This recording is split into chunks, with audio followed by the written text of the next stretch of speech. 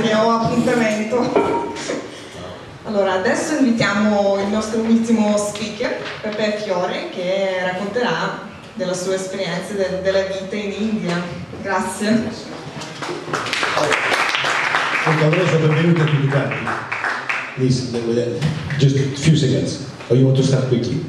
I just want to say a few things before. Oh, I can say after. Okay. Let's go. Benares Hindu University. Foto di gruppo del Conservatorio di Musica? Pardon Ok. Benares Hindu University, foto di gruppo del Conservatorio di Musica della Facoltà of Performing Arts dove ho studiato. Nel 1986 le prime tre file di sotto sono docenti e gli altri sono tutti studenti. Ok, Padin Fiore Barage foto della mia terza competizione all'India Competition All India Competition ad Abad la prima vinta a Benares, la seconda vinta a Lucknow in questo articolo mi hanno apostrofato col titolo di Pandit Fiore Maharaj, che in India si dà solo ai grandi esperti. Mi è andata bene. Questa qua è la mia quarta competizione di tabla, percussione del, del nord dell'India, vinta a Bombay alla Susigar Samsat. Ecco, la foto di sopra del 1996 dimostra le onorificenze ricevute dal Presidente di Commissione. Competizione Qui siamo a casa del mio guru, il mio maestro, insieme alla sua moglie la mia mamma guru. Erano già otto anni che vivevo con loro ed è interessante perché come il mio corpo si era trasformato quasi, somigliando quasi a loro. Infatti sono stato come un figlio più putativo, insomma, ho studiato musica dal mio maestro, il mio guru, ma ho frequentato altre due università grazie a lui. Insomma. Questa qua, sono molto affezionato a questa foto ehm, perché è stata usata nelle varie competizioni dove ho suonato eh, ma che soprattutto dimostra l'affetto, il bene e l'amore che il mio guru, il fu Pandit Badri Maharaj, nei miei confronti e viceversa. Qui avevo 23 anni, ne ho 56. Ecco, questo è molto interessante perché a destra c'è il mio nonno guru, a sinistra c'è il mio bisnonno guru, Pandit, allora, Pandit Kate Maharaj, Pandit Valdeo Sahai. Questi guru hanno tramandato, hanno studiato e dedicato la loro vita ai Talla e hanno tramandato le loro conoscenze ai discepoli, me compreso. Ganesh, una divinità indù, questa qua, la quale fin da, da 5.000 anni suona i tabla con la testa di elefante e il corpo umano in segno di saggezza. Lui suona i tabla perché anticamente i tabla, sui tabla si suonavano le scritture sacre indù, in sanscrito, e le nostre lingue in Europa si chiamano lingue indoeuropesi questo è una, un, concerto, un, concerto, tributo a Verona nel 2000 con i miei allievi di tavola, esattamente dopo 12 anni dalla morte del mio maestro, il tributo concerto al Fu Maharaj.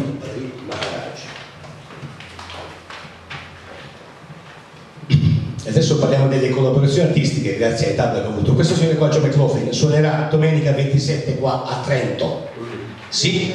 E andatelo a sentire signori, non lo perdete. Al, Santa Chiara signori vale la pena. E io ho suonato con lui nel 1988 qua. A Roma. Grazie ai studi che ho fatto in India. Questo è Ruben Diaz un allievo di Paco Dosia sono di tavola 1993 maggio e anche lui qua suona musica flamenco grazie alla musica indiana io riesco a suonare in diversi stili musicali. Non è un'arroganza ma è un dato di fatto. È un contributo culturale per cui la multirazzialità è una cosa molto importante Dominique Di Piazza, uno dei migliori bassisti al mondo, e ci ho suonato insieme anche a lui, e qua eh, si suona musica jazz, insomma. Ecco.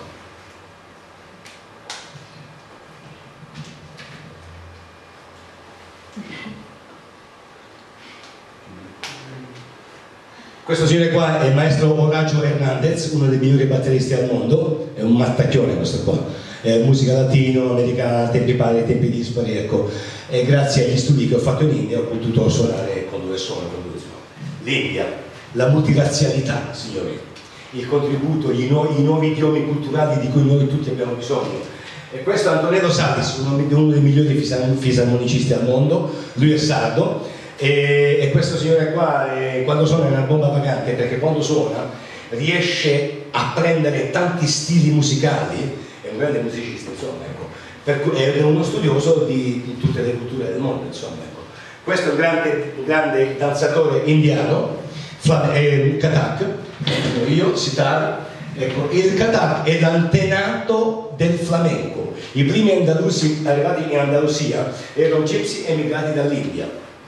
E continuo a ribadire che le nostre lingue si chiamano lingue indoeuropee.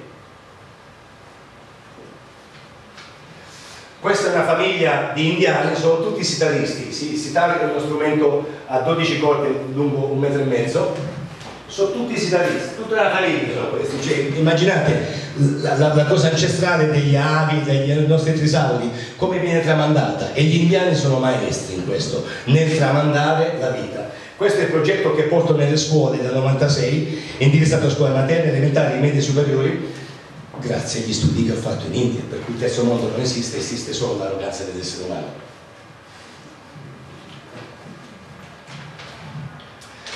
Ecco, questa è un po' la strumentazione che io, eh, che ho acquisito in tutti questi anni e che metto a disposizione negli, negli, nei vari seminari. Ecco. Questo qua è il tabla, lo strumento per cui, da cui mi sono specializzato, è il pozzo dalla quale viene fuori tutta questa roba qua. Gli indiani. Eh, non esiste il terzo mondo, signore. Questo è un saggio di 100 ragazzini, uno spettacolo con tutte le percussioni, è un saggio di fine anno scolastico dove ho fatto solo 5 classi e tutti insieme, vedete, al Mutagure stavamo suonando tutti insieme. Grazie all'India. Eh, insomma, signori, un viaggio in India, no? E questo è un saggio di fine anno scuola materna. Eh, non è facile, perché quando insegna la scuola materna, signori, non puoi dire, ci sono altri ditanti che ci sono. Ecco. Questa è l'ultima foto che verrà, quella la foto a cui sono affezionato un po' di più. Ecco. Allora, questo è il mio guru, sua moglie, la mamma della mia mamma putativa, il figlio che vivente e il figlio che è morto che aveva sei anni. Io sono la reincarnazione di quest'anima qua. Siccome andavamo a ritroso a vedere i nostri antenati in quest'anno, a me è capitata una esperienza pazzesca mi sono trovato a vivere con questa famiglia. Ecco. Voglio dire un'ultima cosa, voglio dire, prima che faccia delle domande. È interessante perché il percorso che è avvenuto oggi è bellissimo. Abbiamo fatto il giro del mondo, no? Cioè perché siamo partiti da, dal viaggio sulla Transmongolica, sui nostri avi, per cui il giro del mondo, no? Poi il lancio della vita, lo sport. Signori, e quella c'è una disciplina interiore, psicofisica, spirituale, per la quale deve potenziare il nostro intelletto.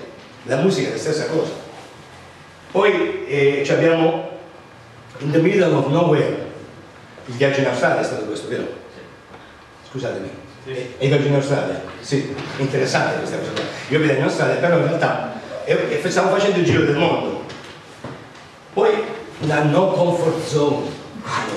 Eh, sì io ho abitato 12 anni in India, dal 78 al 90, fuori dai propri luoghi comuni, perché quando viviamo fuori dai nostri luoghi comuni la mente non si addormenta. Se no rischiamente ci appoggiamo il nostro sederino e ci addormentiamo, non facciamo la muffa da dentro. Per cui questo percorso qua è importante. Qualsiasi percorso che facciamo nella nostra vita ci deve essere una, una non comfortable zone, altrimenti in qualsiasi studio, in qualsiasi dimensione, poi è arrivata la falena, la donna. Perché insomma no? stiamo facendo il giro del mondo, ma cos'è che ragiona il mondo? È il femminile. E questo percorso qua, cioè io sono, sono emozionato perché voi l'avete messo in una propria sequenza, ma in realtà è bellissima sequenza. E questa è News Me, è una sintesi anche, diciamo, no?